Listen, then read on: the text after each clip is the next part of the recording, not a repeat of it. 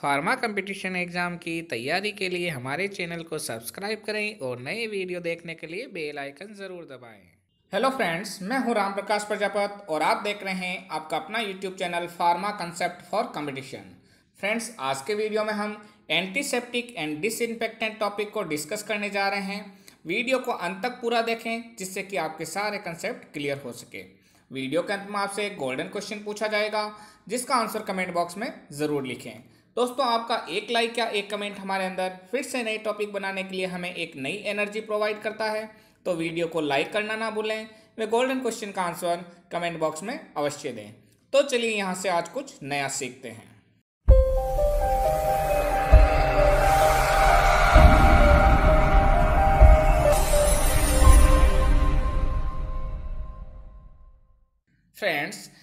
Application of an agent to living tissue for an purpose of preventing infection are called antiseptic. यानी ऐसे agent जो कि living tissue पे लगाए जाएँ, जिससे कि इन्फेक्शन का प्रिवेंशन किया जा सके तो उन्हें हम एंटीसेप्टिक कहते हैं। इसी तरीके से बात करें डिसइंफेक्शन के बारे में तो केमिकल और physical treatment destroy most vegetative microbes और viruses but not spores in और ऑन इनएनिमेट सरफेस यानी ऐसा केमिकल या फ़िज़िकल ट्रीटमेंट जो कि स्पोर को छोड़ के मोस्ट वेजिटेटिव माइक्रोब्स और वायरस को डिस्ट्रॉय कर देता है ऑन इनएनिमेट सरफेस यानी कि नॉन लिविंग सरफेस पर उनको डिस्ट्रॉय करते हैं तो उनको हम डिसइनफेक्टेंट बोलते हैं। जैसे कि अगर हम किसी एजेंट को हमारी स्किन के ऊपर लगा के हम प्रिवेंट करते हैं इन्फेक्शन को तो उसे हम एंटीसेप्टिक कहेंगे।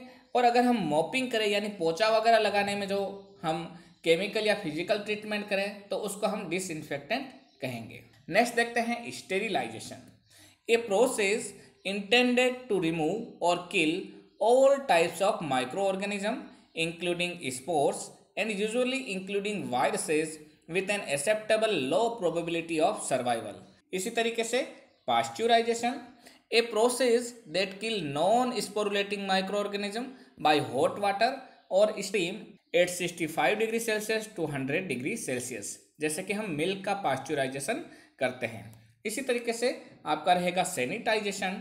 It is reduction of microbial load on an inanimate surface to a level considered acceptable for public health purpose friends आगे बढ़ने से पहले मैं आपको बता दूँ कि हमने फार्मेसी से रिलेटेड लगभग 125 से भी ज़्यादा वीडियोस अपलोड कर दिए हैं। अगर आप फार्मासिस्ट एग्ज़ाम या जीपेट एग्ज़ाम या फिर और कोई नर्सिंग ऑफिसर एग्ज़ाम की तैयारी कर रहे हैं तो हमारे वीडियो के डिस्क्रिप्शन में दिए गए लिंक को ओपन करके ज़रूर देखें।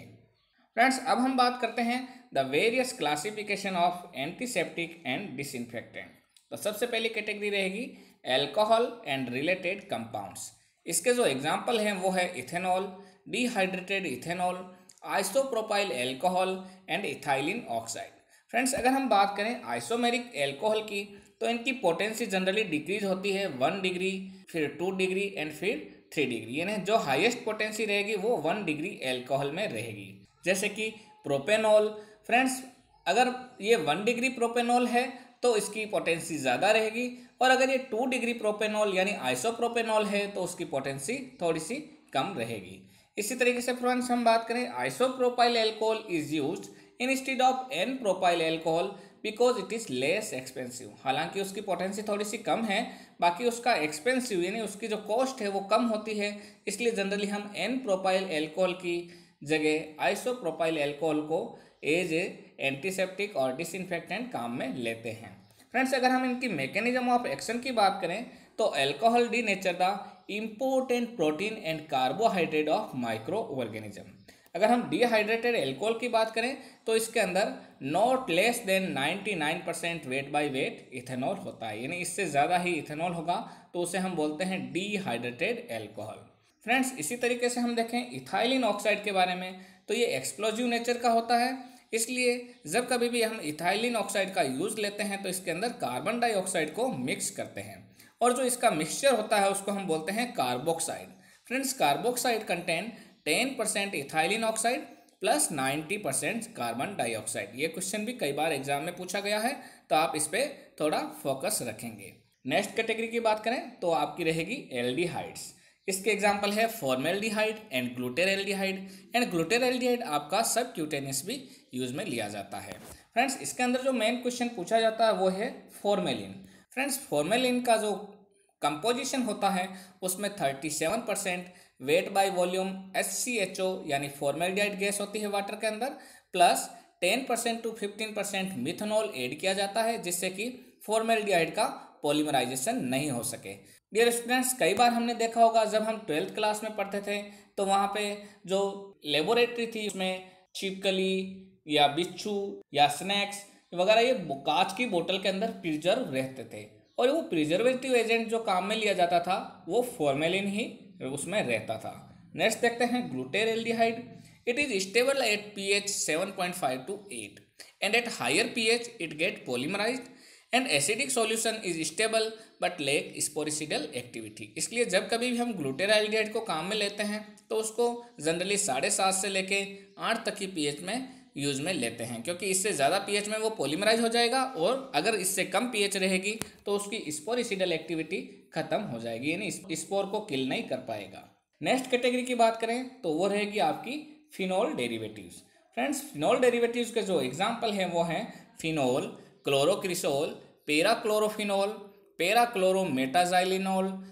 hexachlorophene cresol thymol eugenol resorcinol hexyl resorcinol etcetera friends जब कभी भी हम फिनोल डेरिवेटिव्स की बात करते हैं तो एक इंपॉर्टेंट टर्म आता है फिनोल कोपिशियंट जो कि कई बार एग्ज़ाम में पूछा जाता है। तो हम देखते हैं phenol coefficient the ratio of a given test disinfectant to the dilution of phenol that is required to kill to the same extent a strain of salmonella typhi under carefully control time and temperature condition तो friends इसका मतलब यह हुआ कि अगर हम कोई भी डिसइंफेक्टेंट ले रहे हैं तो उसके डाइल्यूशन जो हम फिनॉल के साथ में रेशियो लेते हैं और चेक करते हैं कि सेम टाइम और सेम टेम्परेचर कंडीशन में वो सेम एक्सटेंट तक साल्मोनेला टाइफी की स्ट्रेन को डिस्ट्रॉय कर सके तो वो आपका जो डाइल्यूशन का रेशियो रहेगा, उसी को हम फिनॉल कोफिशेंट कहेंगे।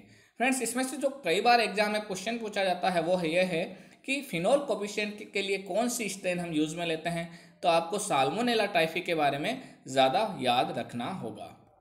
इसी तरीके से देखते हैं phenol coefficient of parachlorophenol is equal to four and parachloroxylenol is use as two percent concentration in shampoo friends इसी तरीके से आपका थाइमोल रहेगा, जो कि नेचुरल सोर्स है थाइमस वलगेयर का, और ये फंगाइसिडल एक्टिविटी रखता है।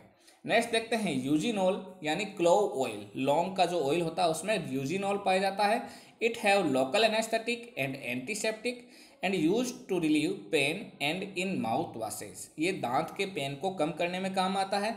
हमने देखा होगा कि घर पे जब भी बुज़ुर्ग होते हैं तो पुराने समय में जब कि दांत का पेन होता था तो लौंग उस दांत नीचे दबा के रखते थे, जिससे कि यूजिनॉल की वजह से वो वहाँ पे एंटीसेप्टिक या लोकल एनेस्थेटिक का वर्क करता था। नेक्स्ट देखते हैं hexyl resorcinol it have both bactericidal and fungicidal activity and it is use in formulation of throat lozenges due to local anaesthetic and antiseptic जो फ्रेंड्स आपकी स्ट्रेप्सिल आती है मार्केट के अंदर, उसमें हेक्साइल रिसोर्सिनॉल रहता है जो थ्रोट लोजेंजेज में काम में लिया जाता है। नेक्स्ट कैटेगरी की बात करें तो वो रहेगी आपकी ऑक्सीडाइजिंग एजेंट और ऑक्सीडाइजिंग एजेंट के एग्ज़ाम्पल है carbamide per hydrous benzoyl per friends अगर हम इसकी मैकेनिज्म ऑफ़ एक्शन की बात करें तो the germicidal activity depend on their ability to liberate oxygen in the tissue and formation of oxygen radicals ये ऑक्सीजन रेडिकल्स जनरेट करते हैं, जिसकी वजह से माइक्रो ऑर्गेनिज्म का ऑक्सीडेशन हो जाता है और वो किल हो जाते हैं. नेक्स्ट कैटेगरी की बात करें तो आपका रहेगा हेलोजन कंटेनिंग कंपाउंड्स फ्रेंड्स इसके जो एग्ज़ाम्पल है, वो है आयोडोफोर्स जिसमें आएगा पोइडोन आयोडीन इसी तरीके से क्लोरीन कंटेनिंग कंपाउंड्स जिसके एग्ज़ाम्पल रहेंगे हेलाजोन एंड क्लोरोएजाडीन फ्रेंड्स अगर हम इसकी मैकेनिज्म ऑफ़ एक्शन के बारे में बात करें तो it involve iodination of aromatic residue of amino acids जो भी आपके माइक्रो ऑर्गेनिज्म के अंदर पाए जाने वाले एरोमेटिक अमीनो एसिड हैं, उनका ये आयोडीनेशन कर देगा, जिसकी वजह से माइक्रो ऑर्गेनिज्म किल हो जाएगा। इसी तरीके से it also cause oxidation of sulfhydryl group of amino acid and proteins ये सल्फाहाइड्रिल ग्रुप का भी ऑक्सीडेशन कर देता है तो माइक्रो ऑर्गेनिज्म किल हो जाते हैं। और इसके एग्ज़ाम्पल है पोविडोन आयोडीन फ्रेंड्स आगे जाने से पहले मैं बता दूँ कि हमने फार्माकोलॉजी एंड फार्मास्यूटिक्स से संबंधित कई वीडियोज़ अपलोड कर रखे हैं। अगर आप उनको देखना चाहते हैं तो ऊपर आई बटन में आ रहे लिंक पर क्लिक करें, जिससे वीडियो के अंत में आप इनको भी ओपन करके देख सकें, अथवा वीडियो के डिस्क्रिप्शन में दिए गए लिंक को ओपन करके देखें। नेक्स्ट बात करते हैं केटाइनिक सरफेक्टेंट की। तो friends, the example of cationic surfactant are benzalkonium chloride methyl benzalkonium chloride cetyl pyridinium chloride, and chlorhexidine gluconate. तो फ्रेंड्स इसमें से कई बार डायरेक्ट क्वेश्चन पूछा जाता है which of the following is an example of cationic surfactant तो आप इसको लर्न कर सकते हैं। नेक्स्ट कैटेगरी देखते हैं सेवंथ डाइस जिसके अंदर एग्ज़ाम्पल रहेंगे आपके gentian violet dyes basic fuchsin dyes and acridine derivative जिसका मेन एग्ज़ाम्पल है प्रोफ्लेविन फ्रेंड्स प्रोफ्लेविन को हम डाई अमीनो एक्रीडिन भी कहते हैं, और ये क्वेश्चन भी एग्ज़ाम में पूछा गया है। नेक्स्ट देखते हैं मर्क्यूरियल्स जिसका एग्ज़ाम्पल है थायोमर्सल एंड नाइट्रोमर्सल। फ्रेंड्स, आगे बढ़ने से पहले मैं आपको बता दूँ कि अगर आप राजस्थान फार्मासिस्ट एग्ज़ाम की तैयारी कर रहे हैं तो हमने उसके लिए ऑनलाइन टेस्ट सीरीज़ स्टार्ट कर रखी है। अगर आप उसको ज्वाइन करना चाहते हैं तो हमारे डिस्क्रिप्शन में दिए गए हमारी वेबसाइट के लिंक पर जाके आप साइन अप करें, जिससे कि आप टेस्ट सीरीज़ को ज्वाइन कर सके हैं। तो फ्रेंड्स, अब वक्त आ गया है आज के गोल्डन क्वेश्चन का। The golden question of this video is formalin is option A thirty three percent weight by volume formaldehyde gas in water plus 10 to 15 percent methanol. Option B 37 percent weight by volume formaldehyde gas in water plus 10 to 15 percent methanol. Option C 33 percent weight by volume formaldehyde gas in water plus 10 to 15 percent ethanol. And option D 37 percent weight by volume formaldehyde gas in water plus 10 to 15 percent ethanol. तो friends, इसका answer comment box में अवश्य लिखें। अगर आपने हमारा channel अभी तक सब्सक्राइब नहीं किया है तो जल्दी से सब्सक्राइब करें तथा साथ ही साथ बेल आइकन दबा दें, जिससे आने वाले सभी वीडियोज़ आपको सही समय पर मिलते रहें। मैं राम प्रकाश प्रजापत आपसे फिर मुलाकात करूँगा एक नई वीडियो में, एक नए टॉपिक के साथ। तब तक के लिए best of luck for exam and thanks